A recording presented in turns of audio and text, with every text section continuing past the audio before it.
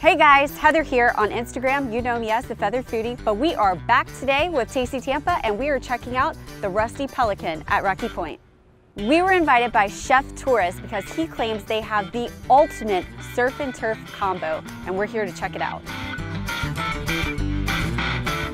The Rusty Pelican board for two features a whole fried snapper, some amazing sauces, steak on top of horseradish potatoes, and some lobster and shrimp risotto. It is sure to make your mouth water on the water. Let's go check it out.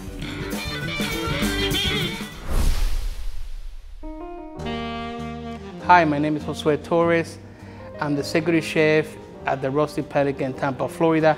We execute over here the best seafood. We specialize uh, seafood from the Gulf of Mexico, giving you a unique experience on the water.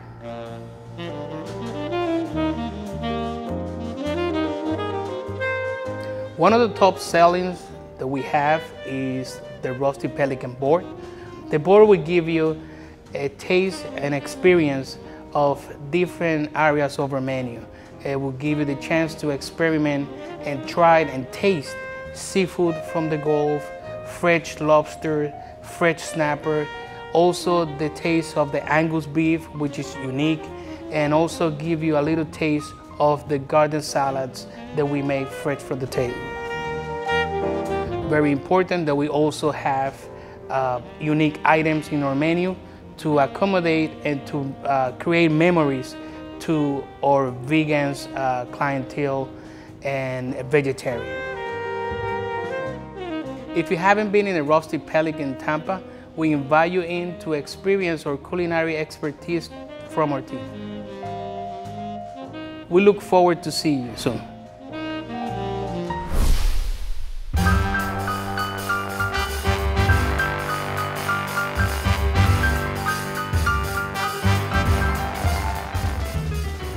So today we are checking out the Rusty Pelican board for two. And even though it's only me, I wore my stretchy pants, so I think we're good to go. Luckily, you get to start every experience with their in-house made honey glazed cornbread, this delicious seasoned butter, and this spicy salt. Cannot wait to check this out. All right, so we're gonna take a little bit of this seasoned butter and we're gonna come over to this cornbread. And of course, we need to get a little bit of this seasoned salt. This cornbread makes the Southern girl in me very happy. Um, the perfection of the cakiness and the flaky crust mixed with the seasoned butter and the spicy salt that they have is absolutely incredible for the combination.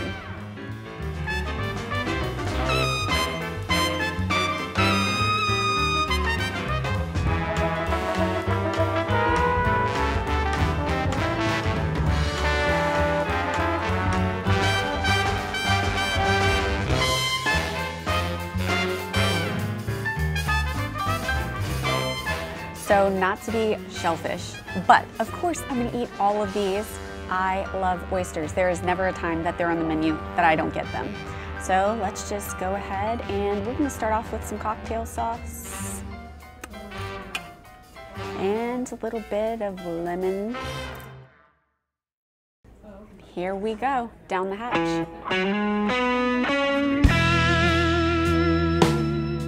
It has the perfect saltiness from the water. kind of feel like the ocean is in here while I'm eating this. Absolute deliciousness.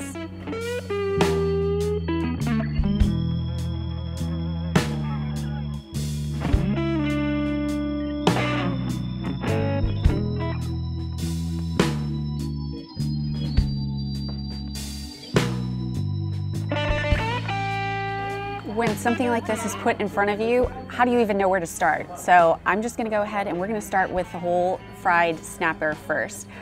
It is amazing the way they deconstructed it. They fry the entire fish and then they still give you all of these amazing nuggets to go with it. And of course it's um, paired with their sauce, so I can't wait to take a bite of this. This fish is fried to perfection. Um, the crust is that perfect combination of flour and saltiness. Um, the sauce has a bit of a, jalapeno flavoring to it, so a little bit of spice to give you that extra heat that you want with seafood, and then it's tossed in a blackened seasoning. Absolutely incredible.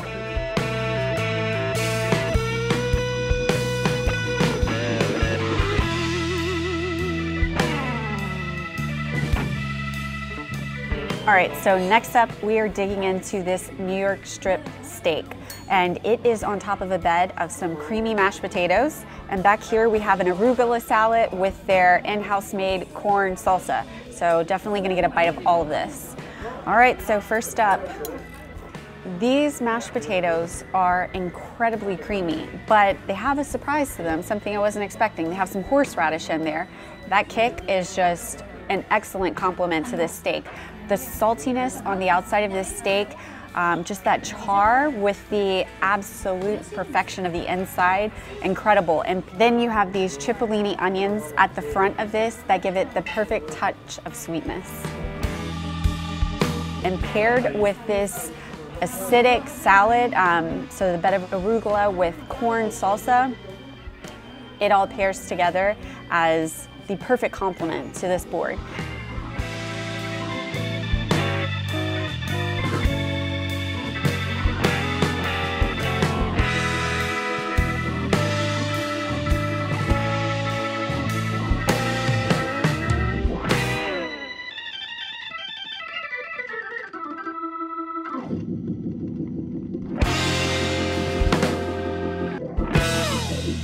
Now we have the piece de la resistance. And so we're gonna check out this risotto. I love risotto, and it comes with this half lobster tail, these huge Gulf shrimp, and everything is tossed in a garlic lemon butter. Let's take a bite. All right, so into the lobster we go. So this is pretty much the definition of decadence on a board. If I had one last meal, no doubt this is where I'm coming and I'm coming back to get this. This risotto not only has that perfect lobster and seafood fresh flavoring to it, but you can really taste the Asiago cheese and it gives you that extra nutty bite.